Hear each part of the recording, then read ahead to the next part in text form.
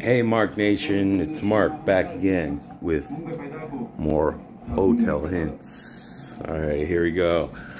So, today's hotel hint comes to you from the weird drawer inside the dresser desk thing.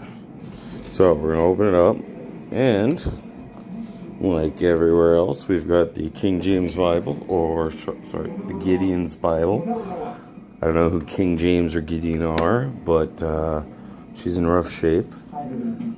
But hey, in Mark Nation, we do not hold it against uh, rough girls. Rough girls are where a lot of us come from.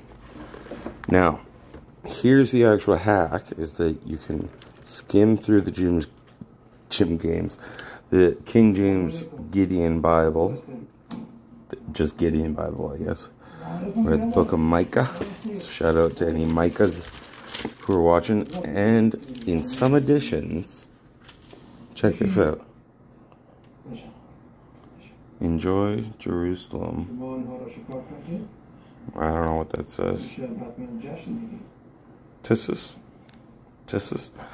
Who knows? I mean, this is obviously, as we can see from the first few frames, an artifact. Um, so who's to say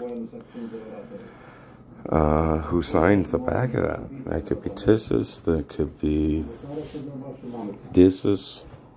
Lysis. Anyways that's just another little factoid that you should always check the Gideon's Bible in the drawer in your hotel room because as a hotel hint you might be able to find a valuable religious relic.